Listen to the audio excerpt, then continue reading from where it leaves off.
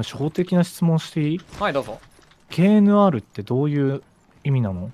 あれはあのー、ノットノットランクっていうあのん？ノットノットランクってあのーあ。そうちゃんと一応正式名称があるんですよ。ノットか？あの KNOT でノット、うんうんうん。で NOT のノットランク最後 RNK ですね。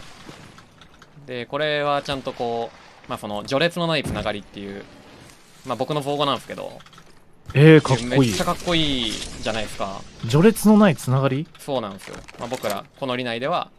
こ Massive う here. 序列のなくただの仲良しグループだよっていう意味合いでつけたんですけど強くなっちゃってんじゃん。強くなっちゃってるってどういうことですか？え、序列、仲良しグループどころか。